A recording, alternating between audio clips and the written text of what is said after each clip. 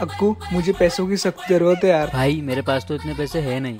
भाभी? मेरे पास तो इतने पैसे है नहीं और अगर तुम्हारे भैया से इतने पैसे मांगू तो वो भी नहीं देंगे।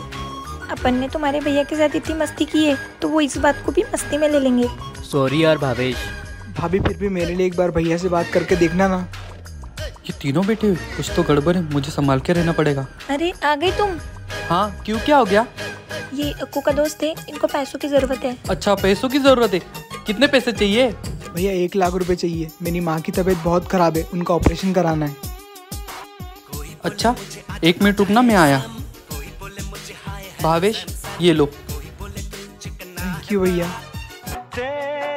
क्या हुआ? तुमको क्या लगा? मैं पैसे नहीं दूँगा? तुम लोग मुझसे हर वक्त मस्ती करते हो इसलिए?